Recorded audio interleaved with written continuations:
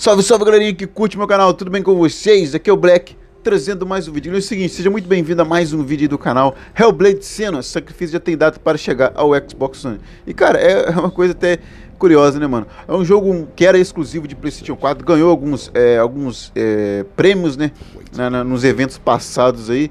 E cara, eu como cachista, por jogo ser um exclusivo de Play 4, eu nunca tive interesse no jogo, então eu não, não pesquisava nada sobre gameplay, sobre análise, sobre trailer, qualquer coisa do tipo. Então eu nem sei muito bem do que se trata o jogo. Mas, com a chegada dele no Xbox One, eu fui dar uma pesquisada é, em gameplay do jogo. Eu vi uma, um, uma gameplay do BR, BRKS Edu. Cara, é uma coisa que me incomodou um pouco, que o jogo tem muita cutscene. O jogo é, é narrativa total praticamente mas tem sim alguns momentos de ação, mas, cara, é muito, mas muita cutscene, cara. Então é, é até aquela parada que os caixistas brincam, né, mano? Que é o jogo filminho. Mas, cara, pareceu ser bacana sim. O jogo que, porra, pela narrativa, pela história, eu acho que vale a pena você jogar também, tal, tem, tem ação também. Mas, cara, parece ser um jogo bacana e eu gostei. E, sei lá, velho, dependendo do valor que ele chega no Xbox One, em alguma promoção eu posso até pegar ele futuramente para poder jogar. Eu não sou aquele caixista, caixista fan, fan, fanático, tá ligado? Tipo, ah, é um exclusivo de Play 4, eu não vou jogar, foda não.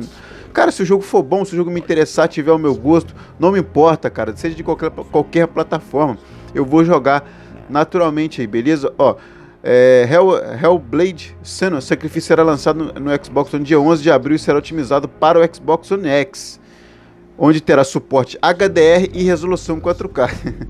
é uma coisa até que meio irônica, tá ligado? Porque no, no PS4 Pro ele não, não tem como rodar resolução 4K aí. E sei lá, velho, tá ligado? Aproveitar o máximo aí que a gente consegue aproveitar no Xbox One X, por exemplo. Então, cara, é uma coisa até até irônica, né, mano? E vocês podem ver também que o jogo já está aparecendo na loja aqui com aquela data que eu acabei de falar para vocês, que é dia 11 de abril. Tá pertinho, não vai demorar muito não. Breve, breve já tá chegando aí. Breve, breve também deve aparecer algum valor dele aí. Eu espero que não seja muito caro, que alguma promoção eu possa pegar futuramente para poder jogar e ver se é bom. E aí, você jogou o jogo no PS4? Curtiu o jogo? Gostou?